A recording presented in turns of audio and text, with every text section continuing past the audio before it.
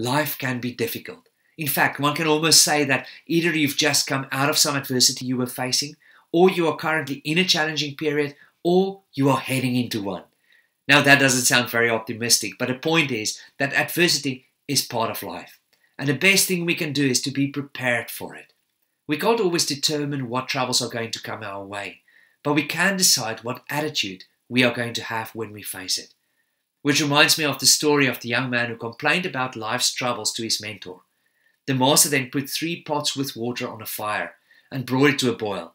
In one pot, he put some carrots. In another, he put a few eggs. And in a third one, he put a handful of coffee beans.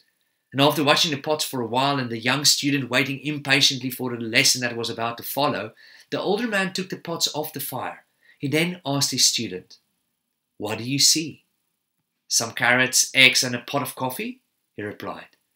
Indeed, but look carefully.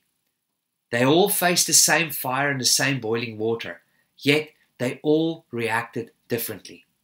The carrot went in strong, hard, and unrelenting, but after being in the boiling water for a while, it softened and became weak.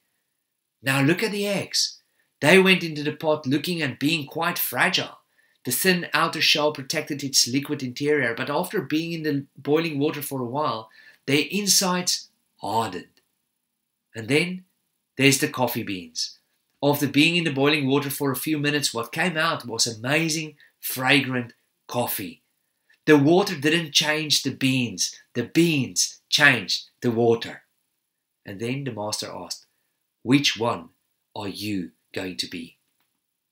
You see, in a sense, we can be like any of these objects when we face the boiling water of adversity.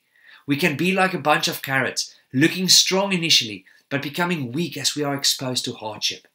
Or we can be like an egg who looks fragile on the outside but become hard on the inside because of the pressure on us.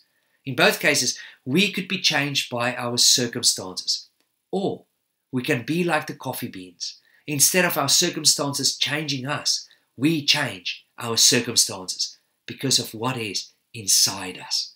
So, friends, whatever you may be facing today, May you all be like coffee beans and have a positive influence on the world around you simply because of what is inside you.